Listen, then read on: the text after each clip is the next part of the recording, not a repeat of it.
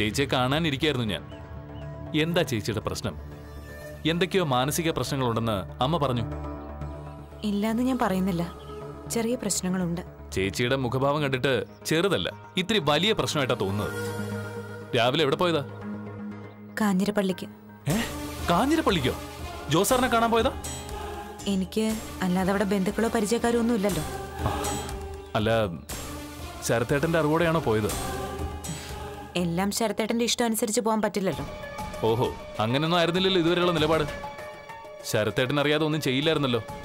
അങ്ങനെ ഓവർ ആത്മാർത്ഥതയൊന്നും ആരോടും കാണിച്ചിട്ട് കാര്യമില്ല നന്ദ. അല്ല നിങ്ങൾ തമ്മിൽ എന്തെങ്കിലും പ്രശ്നമുണ്ടോ? ഏയ് പ്രത്യേകിച്ച് പ്രശ്നമൊന്നുമില്ല. എനിക്കും കുറച്ചും കൂടി ബോൾഡ് ആവണമെന്ന് തോന്നി. അങ്ങനെ തോന്നാനുള്ള കാരണം എന്താ? തോന്നി അത്രേ ഉള്ളൂ. ശരത്തേട്ടൻ വരാൻ വേണ്ടി പ്രാർത്ഥനയോടെ കാത്തിരുന്ന ആളാ രോഹിണി ചേച്ചി. എന്നിട്ട് ആൾ തിരിച്ചെത്തിയപ്പോ ഇഷ്ടപ്പെടാത്ത പോലെ. ജോസാർ നല്ലവന് അത് ഞാനും മനസ്സിലാക്കി കഴിഞ്ഞു. എന്നാൽ അദ്ദേഹവുമായിട്ടുള്ള അടുപ്പം നിങ്ങളുടെ ദാമ്പത്യത്തെ ബാധിക്കുമെങ്കിൽ അകന്നു നിൽക്കുന്നതല്ലേ നല്ലത്? അതേപ്പറ്റിയൊന്നും നീ ചിന്തിക്കണ്ട. ഞാനും ജോസാറും തമ്മിലുള്ള ബന്ധം പവിത്രമാണ്. എന്നിട്ടും റോഡരികിൽ കുത്തേറ്റ് വീണപ്പോ ഓടി അകന്നവളാ ഞാൻ. ആ കുറ്റബോധം ഉള്ളിൽ കിടക്കുന്നു. ഒരു കടമായി കിടക്കുന്നു. ആ കടം വീട്ടാൻ ശ്രമിക്കുമ്പോ അതിലും വലിയ കടവായിരിക്കും ചേച്ചിക്ക് വന്നു ചേരാൻ പോകുന്നത്. അറിയാം. എങ്കിലും ശരിയെന്ന് തോന്നുന്നത് ഞാൻ ചെയ്യും. അതുകൊണ്ടുണ്ടാവുന്ന നഷ്ടമൊന്നും എനിക്കൊരു പ്രശ്നമല്ല. അമ്മ പറഞ്ഞ നേരെ. ചേച്ചിക്ക് എന്തോ കാര്യമായിട്ട് സംഭവിച്ചിട്ടുണ്ട്. അല്ലെങ്കിൽ ഇത്രയും തന്റെ ഇടം കാണിക്കത്തില്ല. ഇങ്ങനെ രണ്ടും കൽപ്പിച്ച് മുന്നോട്ട് പോകത്തില്ല. നീ പറഞ്ഞത് നൂറ് ശതമാനം ശരിയാ. അതേപ്പറ്റി ഇനി കുത്തി കുത്തി ചോദിക്കണ്ട. പോയിട്ട് ജോസാറിനെ കണ്ടോ? കണ്ടിരുന്നെങ്കിൽ ഞാൻ ഇത്രയും മൂഡ് ഓഫ് ആവില്ലായിരുന്നു. നീ പോയപ്പോൾ ഉള്ള അനുഭവം തന്നെയാ. സമ്മതിച്ചില്ല കാണാൻ.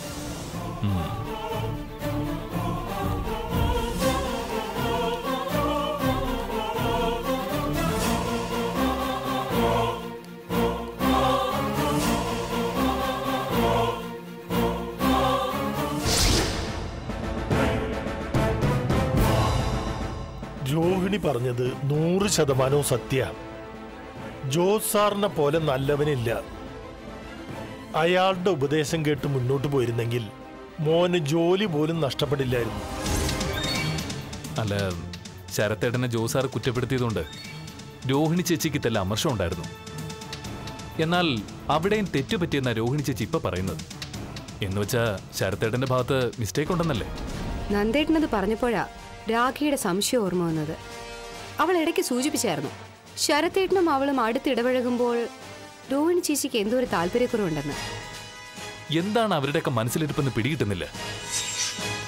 ജോസ് സാർ എന്തെങ്കിലും പറഞ്ഞിട്ടുണ്ടെങ്കിൽ അതിൽ കാര്യമുണ്ടാവും. അന്ന് ചെന്നപ്പോ എനിക്ക് ജോസ് സാറിനെ കാണാൻ പറ്റിയില്ല.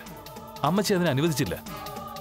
എന്നാൽ ഇന്ന് ഞാൻ അങ്ങോട്ട് പോവുക ഇന്ന് അദ്ദേഹത്തെ കണ്ടിട്ടേ ഞാൻ മടങ്ങും. അമ്മച്ചിയുടെ കയ്യിലേ തോക്കുണ്ട്. അത് ഉപയോഗിക്കാനും അവർക്കറിയാം. അതുകൊണ്ട് സൂക്ഷിച്ചു വേണം അങ്ങോട്ട് പോവാൻ. കൊല്ലുന്നെങ്കിൽ കൊല്ലട്ടെ. അതിനുള്ള അർഹതയുണ്ട് ആ അമ്മച്ചിക്ക്.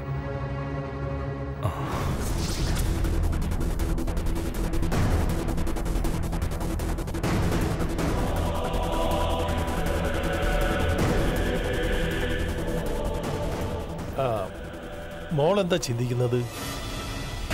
അല്ല രോഹിണി ചേച്ചിയുടെ ശരത്തേട്ടിന് എന്താ പ്രോബ്ലം എന്ന് ആലോചിക്കായിരുന്നു.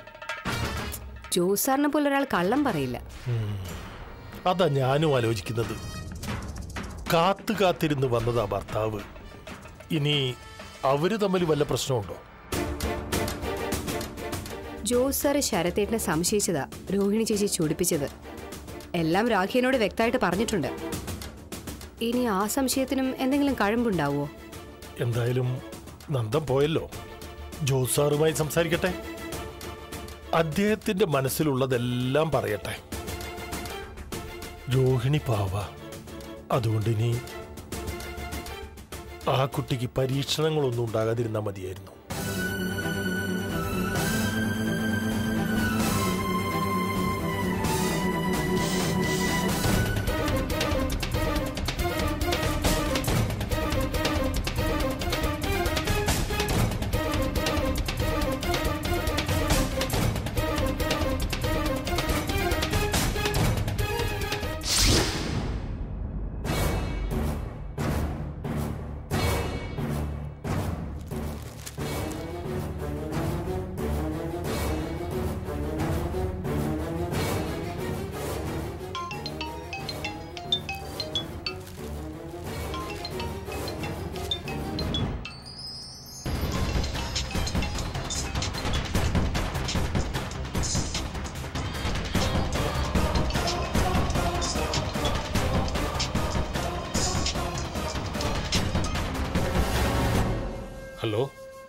ഞാനാണ് ജോ സാറേ.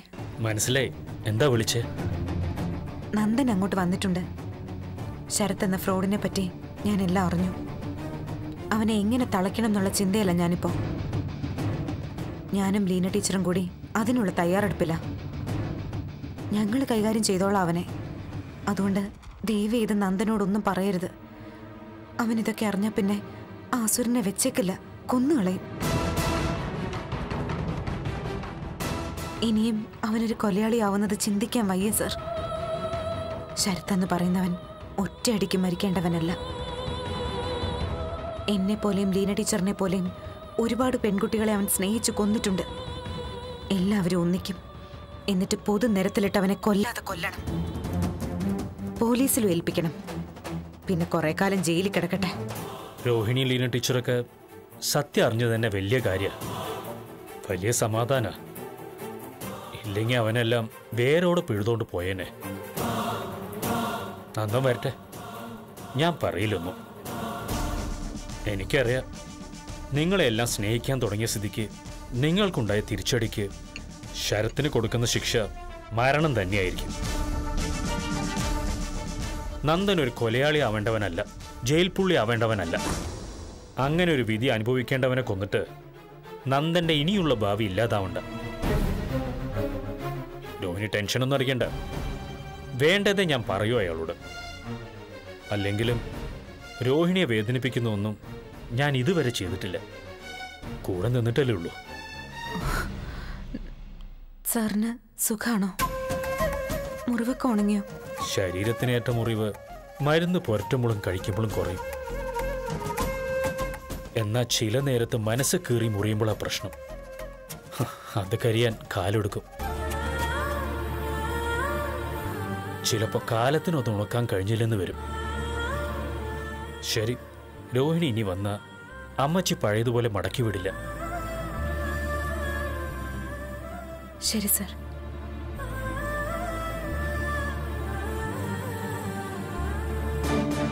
എന്തിനാ അവളെ വിളിച്ചത്?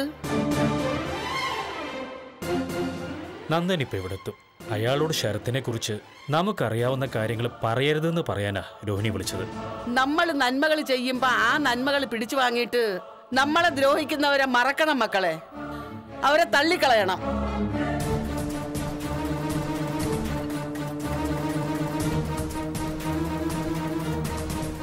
മനഃപൂർവം അല്ലല്ലോ അവർ നമ്മളെ ദ്രോഹിച്ചത്. മനുഷ്യന്റെ ശാപം തെറ്റിദ്ധാരണ അമ്മച്ചി. അതുകൊണ്ട് തന്നെയാ പല ബന്ധങ്ങളും വഷളാവുന്നത്. പലരും ശത്രുക്കളാവുന്നത്. രോഹിണിയും നന്ദനും ഒക്കെ എനിക്ക് മറക്കാൻ കഴിയാത്തതും അതുകൊണ്ട് തന്നെയാ. നീ മറക്കണ്ട. ഇനി ഏതാണ്ടൊക്കെ കിട്ടാനുണ്ട്. അതുകൊണ്ടാണ് നിനക്ക് മറക്കാൻ തോന്നാത്തത്. ഇങ്ങനെയുണ്ടോ മനുഷ്യര്? എന്നോട് മൊബൈലിലൂടെ സംസാരിക്കുമ്പോൾ പോലും രോഹിണി വിതുമ്പുമായിരുന്നു ഉള്ളത് പറയാലോ. ആ കൊച്ച് ഇപ്പോഴും നിന്റെ നെഞ്ചിനകത്തുണ്ട്. ഈ ജന്മ ആ കൊച്ചിനെ മറക്കാനും നിനക്ക് പറ്റത്തില്ല. നിന്റെ എന്റെ ഒക്കെ സ്നേഹം തിരിച്ചറിയാതെ പോയതുകൊണ്ട് അവക്ക് കിട്ടിയ ശിക്ഷയാ ശരത് എന്ന് പറയുന്ന കെട്ടിയോ കേരളത്തിന്റെ തെക്ക് മുതൽ വടക്ക് വരെ പെണ്ണും കെട്ടി പിള്ളാരും ജനിപ്പിച്ച് നടക്കുന്ന ഒരുത്തൻ.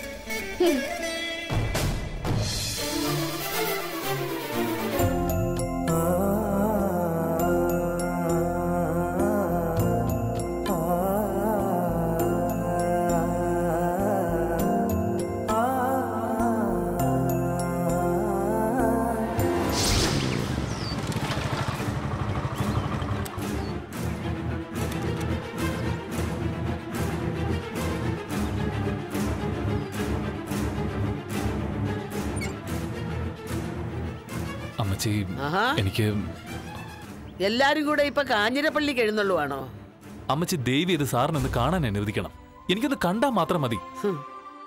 ദേ വരുന്നു കണ്ടോ? ആ.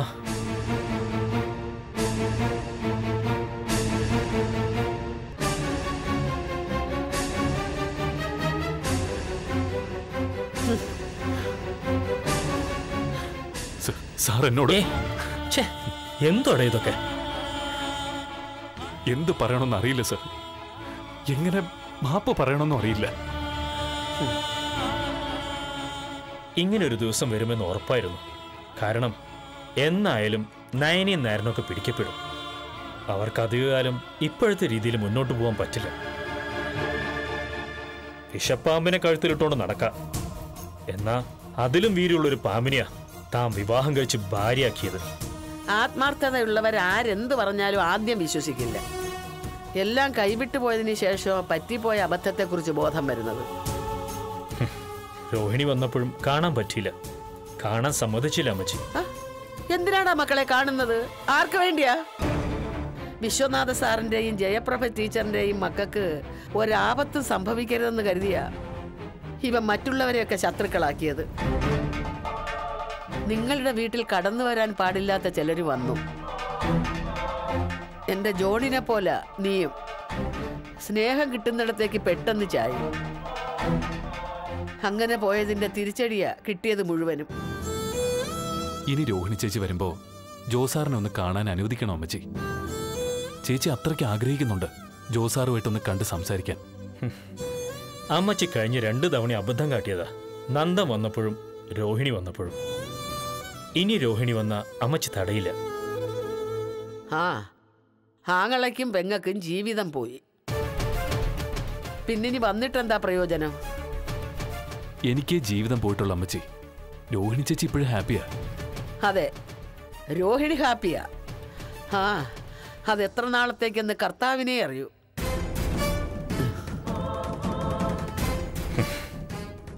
അമ്മച്ചയ്ക്ക് രോഹിണിയോട് ദേഷ്യമുള്ളതുകൊണ്ട് ഇങ്ങനെ പലതും പറയും. അത് നന്ദൻ കാര്യാക്കണ്ട സാറിന്റെ മുറിവൊക്കെ ഏകദേശം ഓക്കെ ആയി കഴിഞ്ഞു. അന്ന് ഞാനും തല്ലിയല്ലോ സാറിനെ. എടോ അതിലൊന്നും കാര്യമില്ല. സ്നേഹിച്ചവര് വഞ്ചിച്ചെന്ന് തോന്നുമ്പോ നമ്മൾ അങ്ങനെ പലതും ചെയ്യും.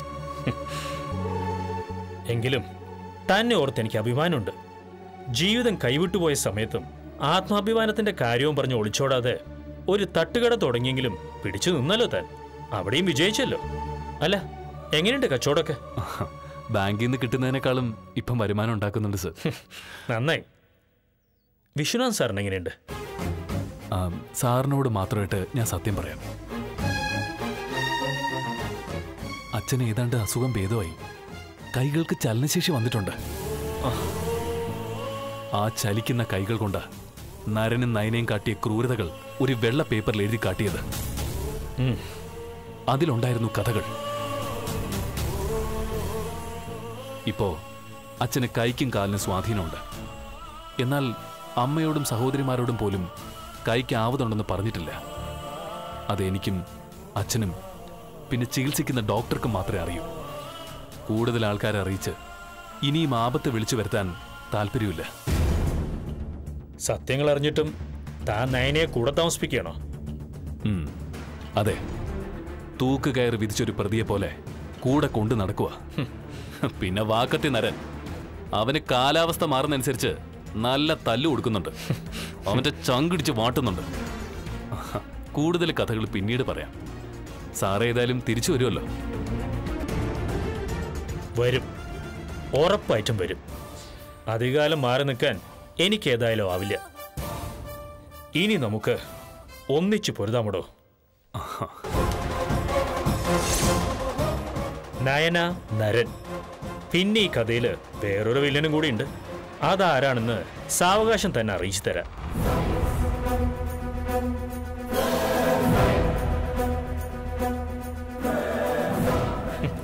താൻ കൂടുതൽ ചിന്തിക്കേണ്ട. നന്മയുള്ളവർ ഒന്നിക്കാൻ പോവാ. ചില നഷ്ടങ്ങൾ ഇടയ്ക്കുണ്ടായെങ്കിലും നമ്മൾ ചിലതൊക്കെ വെട്ടിപ്പിടിക്കാൻ പോവാ.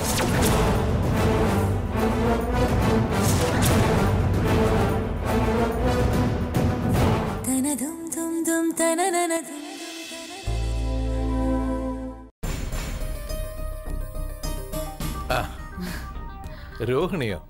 എന്താ മോളെ ഈ വഴിക്ക്? ഞാൻ അങ്കിളിനെ ഒന്ന് കാണാൻ വന്നതാ. ആ മോളിരിക്കെ.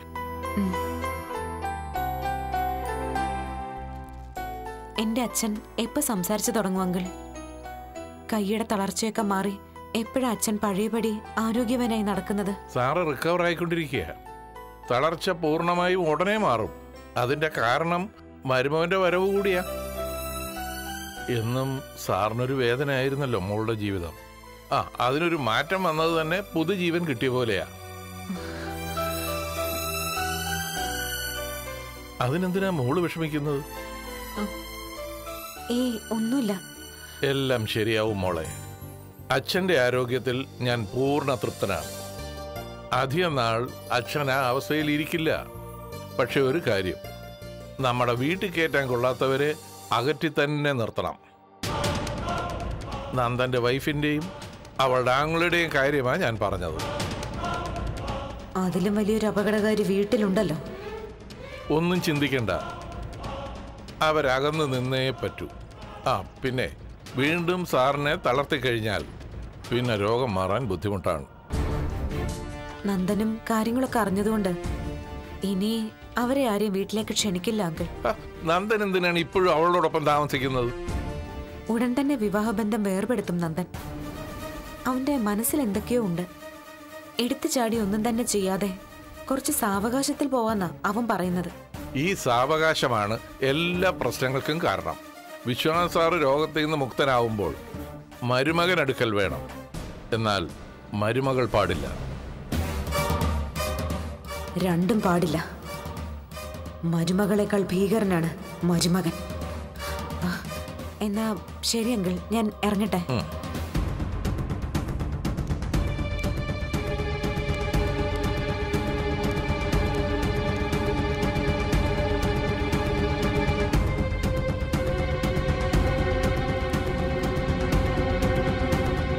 തനതും തും തും തനനനതും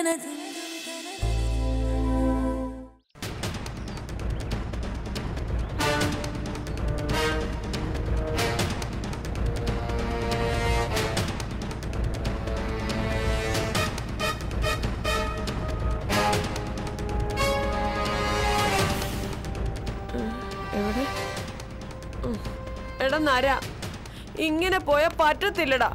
പൈസ ഉണ്ടാക്കാൻ എന്തെങ്കിലും ഒക്കെ ഒരു മാർഗം കണ്ടെത്ത്.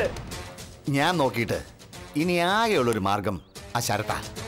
അവൻ നമ്മളെക്കാളും കള്ളങ്ങൾ പറഞ്ഞു കഴിഞ്ഞു ചെയ്തും കഴിഞ്ഞു. ഇനി പിടിച്ചിരിക്കണമെങ്കിൽ നമ്മളെ പ്രീതിപ്പെടുത്തണം. അങ്ങനെ നമ്മൾ പ്രീതിപ്പെടണമെങ്കിലോ നമുക്ക് കാശ് വേണം കാശ്. ആ എന്നാലേ ഇനി കാണുമ്പോൾ നീ അവനോട് പറ കൈയടിച്ച് സഹായിക്കാൻ. ആ, പറയാണ്ട് തന്നെ അവൻ കാര്യങ്ങൾ ചെയ്യേണ്ടതാ. അത് ചെയ്യുന്നില്ല എന്ന് മാത്രമല്ല ഇപ്പൊ വഴിമാറി സഞ്ചരിക്കുക രണ്ട് കെട്ടിയോളന്മാരെയും കൊല്ലണ്ടെന്നൊരു പറച്ചിൽ. എനിക്കത് അങ്ങോട്ട് സൂചിച്ചില്ല എന്ന് ഞാൻ പറഞ്ഞല്ല.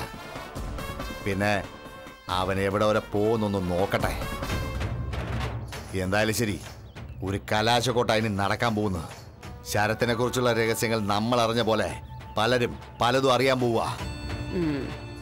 നമ്മളെ കുറിച്ച് എല്ലാം നന്ദൻ ഏതാണ്ട് അറിഞ്ഞ മട്ടാണല്ലോ. അതുകൊണ്ടാണല്ലോ അവൻ സ്വന്തം കുടുംബത്തോട് അടുപ്പം കാണിക്കുന്നത്. പിന്നെ എല്ലാം ഉള്ളിൽ ഒതുക്കി നടക്കുക ആ പെണ്ണാണെങ്കിൽ അവിടെ ഒറ്റയ്ക്കേ ഉള്ളൂ. അവന്റെ ഒരു ചൂണ്ടുവരൽ മതി അവൾ എന്തെങ്കിലും ചെയ്യാൻ. അതാ എന്റെ പേടി. ദേ വന്നു. വാ വാ. ഏതായാലും പെട്ടെന്നൊന്നും ചാവത്തില്ല. നിന്നെ കുറിച്ചാ ഞങ്ങൾ പറഞ്ഞോണ്ടിരുന്നത്.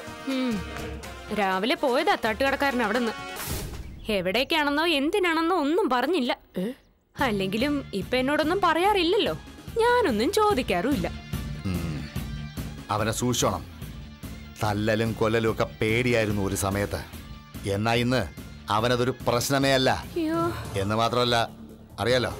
പ്രൊഫസർ വിശ്വനാഥൻ എന്ന് വെച്ചാ അവന് ജീവന. ജീവന അങ്ങേരോട് നമ്മൾ ചെയ്തതൊക്കെ അറിഞ്ഞിട്ടുണ്ടെങ്കിൽ ആദ്യം നിന്നെ തട്ടും. പിന്നെ എന്നെ. അയ്യോ അതെനിക്കറിയാം. പക്ഷെ ആ കാലമട മനസ്സ് തുറക്കുന്നില്ലല്ലോ. ഒന്നും പറയുന്നുമില്ല. അതാ പ്രശ്നം. നെഞ്ചിനകത്ത് എന്തോ തീപ്പൊരി ഉണ്ട്. അമ്മേ ഒന്നിച്ചൊരു മുറിയിൽ ഉറങ്ങുമ്പോഴേ എനിക്ക് ഉറക്കമില്ല. എന്ന് വെച്ചാ ഏത് നിമിഷം എന്തും ചെയ്യാവുന്നൊരു ഭർത്താവാ കൂടെ. എന്നെ ഇപ്പൊ അധികം ഭയപ്പെടുത്തുന്നില്ലെങ്കിലും ഏത് നിമിഷവും കടന്നു വരാവുന്ന അച്ഛന്റെ ആത്മാവുണ്ട് ചുറ്റിനും. ഓ അതിനിടയിൽ നിനക്ക് മൂന്ന് നേരം എന്തെങ്കിലുമൊക്കെ ഉണ്ണാൻ കിട്ടുന്നുണ്ടല്ലോ. ഞങ്ങൾക്ക് അതുമില്ല. അതാ അവസ്ഥ. ആ അതൊക്കെ പോട്ടെ. നീ നന്ദനെ ശ്രദ്ധിച്ചോണം. അവൻ ഇറഞ്ഞാ പിന്നെ നമ്മളൊക്കെ തരിപ്പണാവും ഇതിനിടയിൽ ആകെയുള്ളൊരു തുറുപ്പ് ചീട്ട് ആ ശരത്ത അവനിലൂടെ എല്ലാം പിടിച്ചെടുക്കാൻ ശ്രമിക്കണം. അതല്ല അവനെയും എല്ലാരും സംശയിച്ച തള്ളിക്കളഞ്ഞ. നമ്മുടെ കാര്യം പോക്കാം. ഇനി ഇവിടെ നിന്ന് ശരിയാവത്തില്ല. അമ്മേ ദാ ഇത് വെച്ചോ. ഇടയ്ക്കൊക്കെ തട്ടിച്ചും വെട്ടിച്ചുണ്ടാക്കുന്നതാ നൂറ് രൂപയെ അത്രേ ഉള്ളൂ. നരേട്ടാ പോയിട്ട് വരാവേ. പ്രത്യേകിച്ച് എന്തെങ്കിലും ഉണ്ടെങ്കിൽ ഒന്ന് വിളിക്കണേ. മോളെ നീ ഇവിടെ കേറി വന്നിട്ട് ഒരു ഗ്ലാസ് ചായ പോലും തന്നു വിടാൻ പറ്റാത്ത അവസ്ഥയായി പോയല്ലോടി. സാരല്ലേ കട്ടൻ ചായ കുടിച്ച് ഞാൻ മടുത്തു. നൂറ് രൂപയാ അയ്യടാ നീ അതും കൂടെ കൊണ്ടുപോക്കോ ബാക്കിയുള്ളവൻ പട്ടിണിയാ അതുകൊണ്ട് പച്ചക്കറിയെങ്കിലും മേടിക്കാം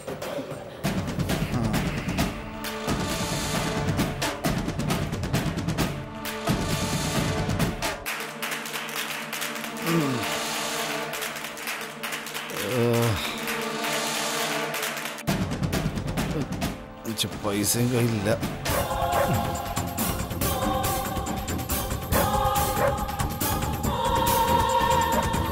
നല്ല ഉപദേശങ്ങളും തന്ന മാതാപിതാക്കളോട് നീതികേട് കാട്ടിയ ദൈവം കൂടെ നിൽക്കത്തില്ല ഇനി ഒരു ദിവസം കൂടി ഞാൻ ഒഴിച്ചിടും. കാഞ്ഞിരപ്പള്ളിക്ക് പോവാൻ. അന്ന് ഞാൻ അവിടെ പോവുകയും ചെയ്യും. അദ്ദേഹത്തെ കാണുകയും ചെയ്യും. ഇങ്ങനെയാണെങ്കിലേ ഒന്നിച്ചു പോകുന്നതിൽ ഒരു അർത്ഥവും ഇല്ല അതുകൊണ്ട് പറഞ്ഞല്ലോ പൊയ്ക്കോളെ ഒന്നിച്ച് തന്നെ പോവാം. സ്വന്തം വീട്ടിലോട്ട്.